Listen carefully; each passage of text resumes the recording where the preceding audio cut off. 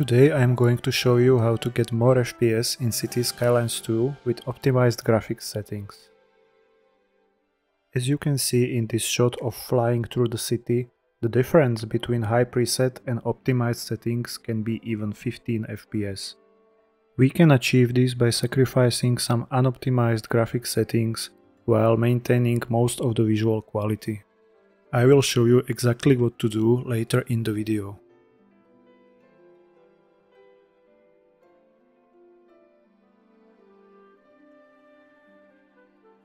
In this slow walk through industrial area, the difference is even bigger, around 17 FPS.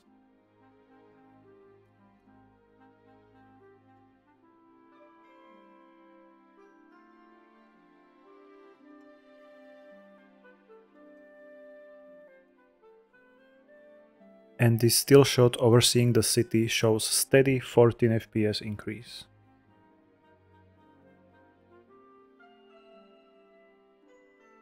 Now let's have a look at those settings. In General tab, keep Performance Preference on frame rate. So far I haven't noticed any difference between those options, but I mention it just to be sure. Maybe it will become noticeable with bigger city.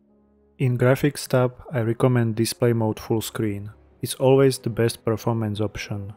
You can check VSync if you like, it's mostly personal preference, but I recommend using it. Maximum frame latency is very important setting. Set it to 3. It will increase your GPU usage, but you will get more FPS and less stuttering. Let's start from high graphics preset and switch to advanced settings.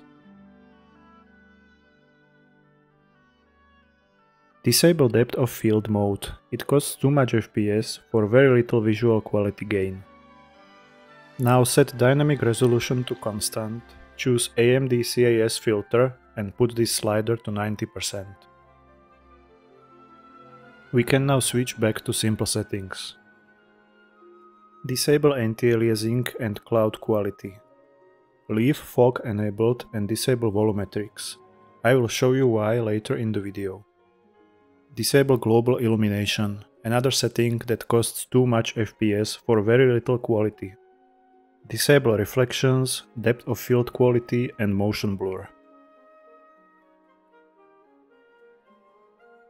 Set animation quality to medium and we are done. Now let's have a look on top 3 individual graphics settings that make difference in overall image quality. First one is upscaling together with anti-aliasing. High preset uses 100% render resolution with SMAA. I recommend to use AMD CAS at 90% render resolution to both increase FPS and reduce aliasing. Second, we have fog and volumetrics quality. High preset sets these options to enabled and high. I recommend disabling volumetrics and only leave fog enabled to get some FPS and keep image quality. Turning fog completely off will result in brighter colors, but very flat looking image. The last noticeable setting is reflections. In these two shots you can see difference on water surface outside the city and on tram inside the city. Other than that, you may see reflections on big skyscrapers made of glass. I recommend turning this setting off to increase FPS. Thank you for watching and I hope you will have a lot of FPS and fun while gaming.